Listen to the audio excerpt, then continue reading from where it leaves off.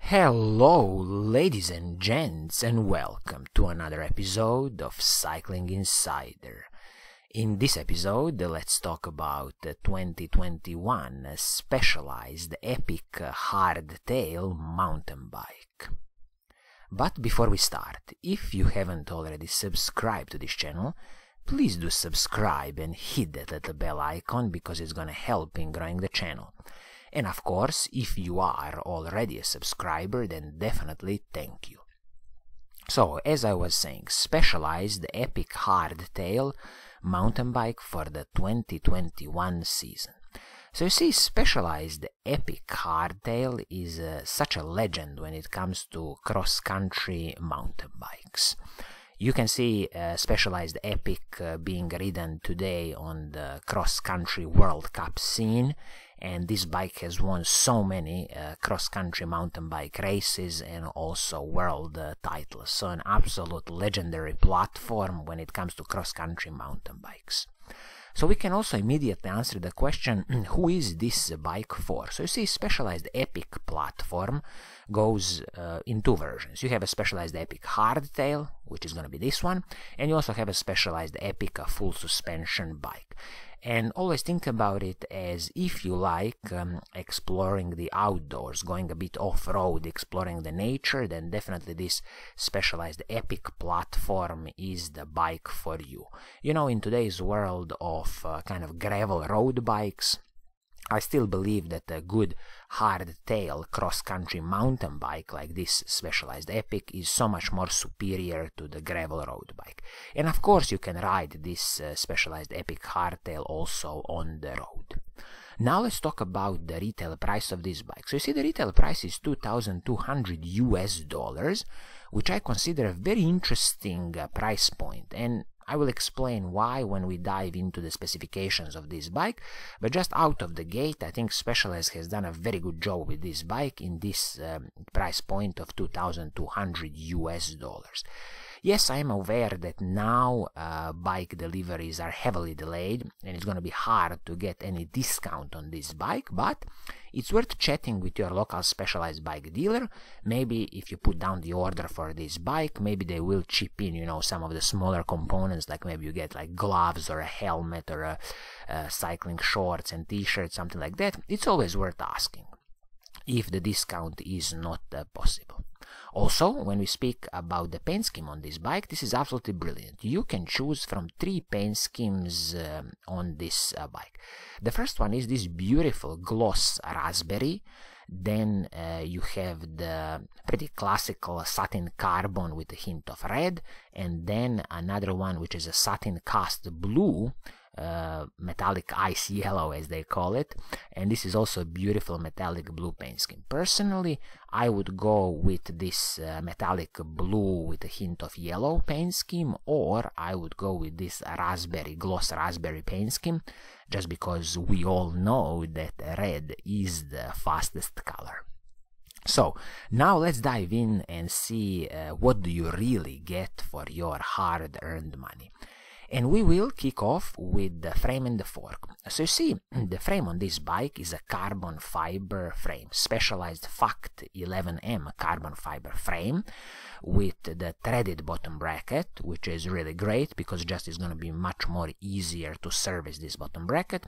You have a 12 millimeter through axle at the back and it's going to be 15 millimeter through axle at the front and this is internal cable routing. Also keep in mind that the specialized carbon fiber frames come with a lifetime warranty, so this is absolutely superb. Do I have any special complaints about this frame? Absolutely not. Uh, Specialized knows what they are doing with their carbon fiber frames for the Specialized Epic Hardtail, so this is a top-notch uh, carbon fiber frame. Now let's talk about the suspension, the fork. So you see, on this uh, hardtail mountain bike, you have uh, front suspension, which is uh, RockShox Judy uh, Gold. RockShox has a huge heritage in making uh, mountain bike suspension, so they definitely know what uh, they are doing. So you see, this uh, RockShox Judy Gold fork, they've basically resurrected the name Judy. I remember the Judy forks um, even around the year 2000 or a little bit before and then there was a period where they didn't have the Judy forks, and now they are kind of resurrecting the Judy name. So this uh, Judy Gold uh, RL uh, fork, for example, if you would be buying it on the open market, the retail price could be between 4 120 to 500 euros depending on the different specifications of the fork. But the main characteristics of this fork it is a 100 millimeters of uh, travel fork. It has the RockShox solo air spring. It is a 42 millimeter offset fork. Maximum braking rotor you can fit on this fork is 220 millimeters and the legs of this fork are aluminum legs 30 millimeters um, in diameter and also just keep in mind that the damper type uh, type in this fork is the motion control damper type perfectly fine from uh, from rock uh, shocks so do I have any uh, special complaints about this fork? Absolutely not. I think it's a perfect fork uh, in this uh, price range. The highlights definitely the solo air fork, motion control damper from RockShox, and I forgot to mention it is a 15mm true axle at the front and this is a classical 100mm of travel for a proper cross-country mountain bike. Uh, RockShox doesn't mention the total weight of this uh, fork, uh, but I could expect something about 1900 grams, maybe even 2000 grams for uh, this uh, fork. Absolutely, it's go not going to be the lightest of the forks, but you can't expect um, anything super special in this price range. But out of the box, no complaints from me here. Now let's talk about some smaller pieces of the cockpit like the handlebar stem saddle seat post. So let's kick off with the handlebars. So handlebars on this bike are specialized aluminum handlebars, 750 millimeters wide, which is really great, good wide handlebars, and the stem is also specialized aluminum stem. So you see handlebars and the stem are aluminum, I personally have no problems with that. I think it's perfectly fine on this hardtail mountain bike. You want something that's durable and that basically you won't have any kind of fear of uh, breaking or whatever failing in the middle of the forest. So aluminum stem and handlebars totally fine and even in the future I wouldn't even bother upgrading to the carbon fiber pieces. Now let's talk about the saddle and the seat post. Saddle is the famous body geometry saddle from Specialized. Uh, their body geometry saddles are usually superb, so I think this saddle will also fit you nicely. But since saddles are a personal preference, if you don't like this saddle, it's easy to replace, and if you got your own saddle, then just keep it as long as possible. Seat post you see on this bike is a specialized aluminum seat post. That's a no-no in my book, and I really don't know why Specialized have included this aluminum seat post. They should have included a carbon fiber seat post on this bike, and this would be the first thing I would change if I buy this bike. I would buy myself a decent carbon fiber seat post. This seat post is uh, 30.9 millimeters in diameter, but the main reason for a carbon fiber seat post is that you will get so much more uh, soaking up of the small off-road road bumps and the ride is going to be so much more smoother. Now let's talk about the braking system on this bike. So you are getting uh, Shimano's hydraulic disc brake. This is Shimano's M6100. This is a Shimano uh, Deore level hydraulic uh, disc brakes, two piston calipers. They don't mention here the size of the braking rotors or which braking rotors they are using, but from the pictures I can see that probably front braking rotor is 180 millimeters and the rear braking rotor is probably 160 millimeters, which is totally fine. This is a classic setup on a cross-country mountain bike. Also for the braking rotors, uh, Again, they didn't mention here in the specifications, but I'm guessing it's going to be a classical Shimano Deore braking rotors.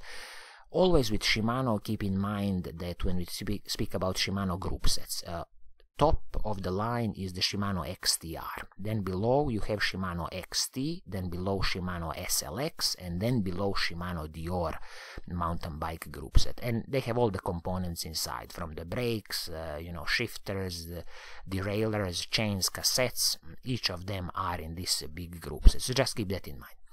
These brakes are perfectly fine, mm, they're gonna work superb out of the box and I have no special complaints about this. Now let's talk about the total drivetrain. So, a shifter's front mech, rear mech, chain, cassette and the crankset. So the rear mech uh, and the shifters uh, are Shimano SLX, which is M7100. This is a 12-speed uh, group set, absolutely perfectly fine, superb, no complaints about the Shimano SLX uh, group set. When it comes uh, to the chain, uh, they have saved a bit of money here, so they've put a Shimano Deore chain, which is Shimano Deore M6100 12-speed chain totally fine chain out of the box and even when you destroy this one you can upgrade to the Shimano SLX chain or you can just keep a Shimano Deore chain it's going to be perfectly fine. A crankset on this bike is the Shimano's MT511 crankset and this is a 32 tooth uh, chainring at the front so this is a 1 by 12 group set so one chainring at the front 12 speed at the back, 12 uh, cogs at the back. So this Shimano MT511 crankset, it is a Shimano Deore level crankset, 12 speed crankset, two piece crankset, uh, perfectly fine, uh, no complaints here. And as I said, this one is the 32 tooth uh, chain rings at the front. So one single chain ring at the, at the front. They don't mention here the cassette on this bike, but I'm guessing, since the crankset is Shimano Deore and the chain is Shimano Deore on this bike, I am guessing they have included the Shimano Deore cassette, 12-speed cassette, which is the M6100 cassette, and this cassette will have a range 10 to 51 tooth, so 12 speed at the back, 1051 range at the back, and 32 tooth uh, at the front. You absolutely won't have any problems in attacking any really steep mountains with this uh, gear combination. But this is also just a little detail that you can check with the local specialized bike dealer. Is the cassette on this bike Shimano Deore cassette? And also you can just briefly check the size of the braking rotors on this uh, bike. Generally speaking, for the drivetrain, I have no special complaints here. They've done a good job with this uh, budget of 2,200 US dollars. Now let's talk about the wheelset on this bike. It's a very classical aluminum wheelset. So Specialized own aluminium rims, which are tubeless ready, with a 25 millimeter internal uh, rim width. And the hubs on this wheelset are Shimano hubs, Shimano MT400 at the front and Shimano MT510 at the back. These are very classical Shimano hubs, uh, perfectly fine. It's a good workhorse, and I definitely wouldn't bother with these hubs as long as um, you are regularly servicing these hubs once per year. They will really last you a long, long time. 15mm through axle at the front, 12mm through axle at the back. Both of them are the Boost standard and Shimano's Micro Spline standard at the back. As I say, perfectly fine, no special complaints here. Uh, mentioning here the wheels the tires i see are specialized own production tires. They're specialized fast track tires uh, perfectly fine tires. I have no problems with that. I'm guessing these would be something in uh, 2.25 2.3 inch tires very good tires and you know the tires are um, easy consumable that you can replace in the future. Also speaking about this wheel set uh, if you really want in the future you can save a bit of money and buy some more advanced wheel set. Even if you want to keep it aluminium i would always start by checking what's on offer from DT Swiss DT Swiss aluminium wheels with superb DT Swiss hubs.